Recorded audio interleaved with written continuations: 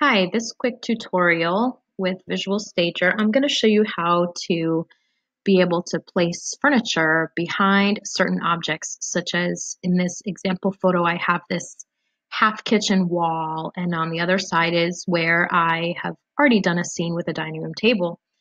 And let's place the dining room table. I'll show you what happens. Um, obviously, it just looks super awkward placed right under the light where I like it. Um, right about, that might be a little too far. Let's see. About there. To rotate it a little bit. But you can see, obviously, it's just kind of floating around in space here. Um, it just doesn't really belong here, and there's there's um, no ability to kind of cut this off or tuck it tuck it kind of behind the wall. Um, and so I asked about that and I got some good uh, feedback on how to kind of get around this. And so I'm going to show you using um, another web app called Pixlr. Pixlr. And so there's, um, it's a really quick process. The first thing we're going to do is we're going to download our image.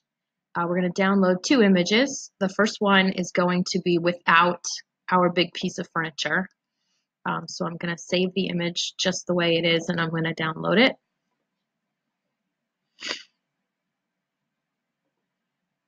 And it's kitchen 3 um, .jpeg. So the next thing I'm going to do is I'm going to go back to my dining room table and I'm going to place it right where I want it.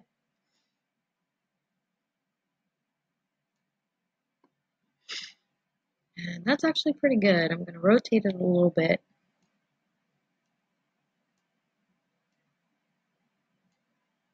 That's probably even better. So, okay, I like the, that it sits right under the, the light here. I'm to go ahead and save it again, download the image again, and it's to be uh, copy one, kitchen three, copy one. So, okay, these, these two um, downloads are probably in my download folder, so we're to find them. So we're to minimize um, this. We're to flip over to pixlr.com. Here's the website up here pixlr.com, and we're going to use the web apps. So you can click on web apps. And this is just really nice because you don't have to register. It's free. It's right online. So we're going to launch the editor web app.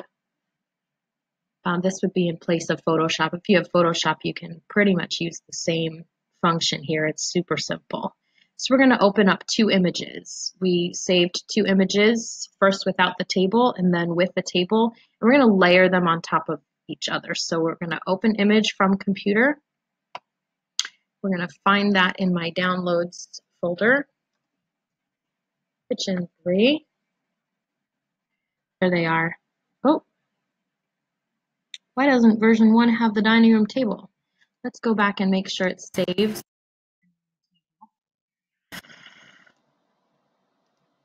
Save this again.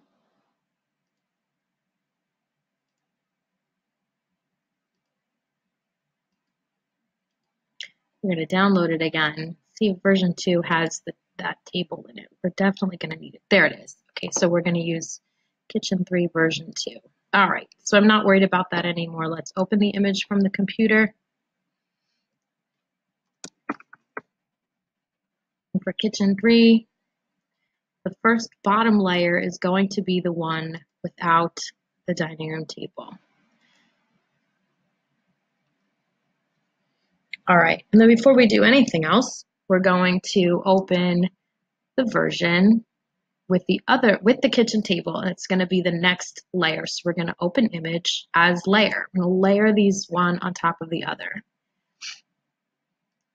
This is also and three. There's that floating dining room table. Version two, you see it just kind of magically appear there. So this is where um, the magic is going to happen. So we're going to zoom in quite a bit. And the nice thing, we're basically going to merge these layers together. Well, maybe merge isn't the right word, but we're going to erase this section here away from the wall. And what's left is going to be layer one, which has no dining room table. So essentially it's going to look as if the table is tucked behind the wall. So we're going to select our large area that we're going to erase. And you could be pretty generous here because all of this underneath is exactly the same. None of this has changed. We want to be extra careful that we get all this shadowing, um, that nothing's left behind. But I like that this is one nice clean line right here. So we're going to line up right on the line. There we go. That seems to capture everything. And I'm just going to move it over a touch. I wonder if I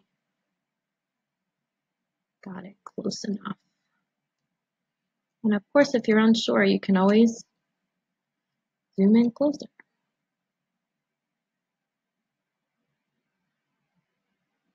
There we go.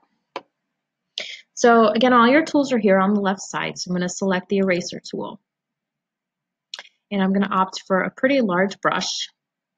We'll go with brush 61. And then you just start erasing. You can see already how it's picking up the shadow effect. We'll go ahead and we're just going to erase inside of our selected piece.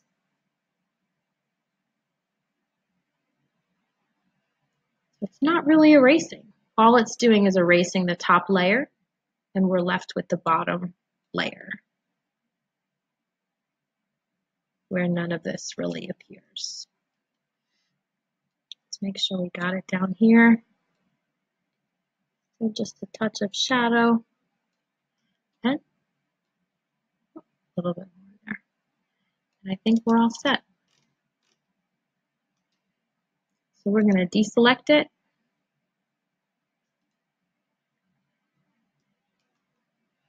And there you have it. Kitchen table right where it belongs. Here's our final image. Just make sure you save it before you close out of this uh, web app. I save it quality 100 just so that it's the best quality that it can that it can be and I'm going to call it kitchen 3 call it B. Okay it's really that simple. I hope this video was helpful. Take care